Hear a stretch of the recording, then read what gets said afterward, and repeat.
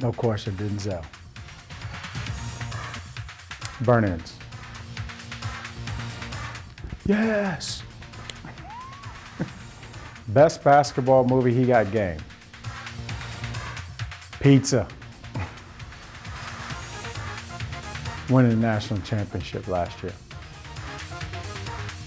Biggest pet peeve would be allowing somebody to uh, steal a basketball from you. The energy bus. Just a simple little two-step, little back and forth little two-step. Hey,